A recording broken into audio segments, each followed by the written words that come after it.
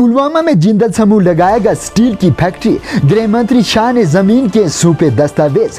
केंद्रीय गृह मंत्री अमित शाह ने डल झील में हाउस बोट महोत्सव का कराया शुभ आरंभ। उन्होंने इस अवसर पर कहा कि डल झील में तारों की टिमटिमाती रोशनी में लेजर शो और म्यूजिकल फाउंटेन को देखना कभी न भूलने वाला अनुभव है। यह किसी को भी मंत्र कर देगा।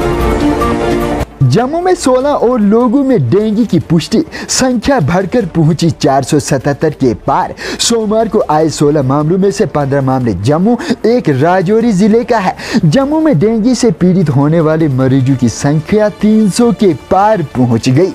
सांबा और कठवा ज़िले में भी खचाखच मामले आए सामने। पुलिस की व्यवस्था में सेंध लगा रहे आतंकी संगठन, जेल के भीतर से लेकर बाहर तक संगठन ही संगठन। एक हफ़्ते में पुलिस कांस्टेबल और जेल में सेंध लगाने के दो मामले आए सामने। आतंकी संगठन, डीएसपी सतर के अधिकारी तक को विश्वास में लेकर अपने साथ जोड़ चुके हैं। घर के निकट मवेशी चरा रहे बालिक को रीछ ने धर दबोचा। चिननी पंचायत के अपर मादा में सोमवार को रीछ के हमले से एक किशोर घायल हो गया। इसके ताऊ हसन दीन ने बताया कि तेरह साल मोहम्मद आरिफ पुत्र राज अली घर के नज़दीक मवेशी चरा रहा था।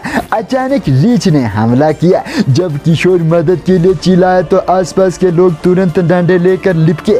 लोगों को आता देख रीछ वहाँ से भाग निकला। घायल बालिक को प्राथमिक उपचार के बाद जिला अस्पताल किया रेफर न्यूजीलैंड के खिलाफ भारत की जीत ज़रूरी।